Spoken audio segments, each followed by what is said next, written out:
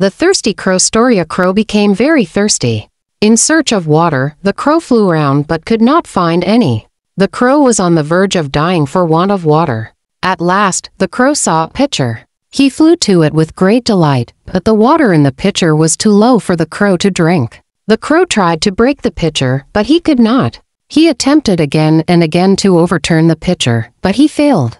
The crow noticed very little water at the bottom of the pitcher. He looked around and saw some pebbles lying nearby.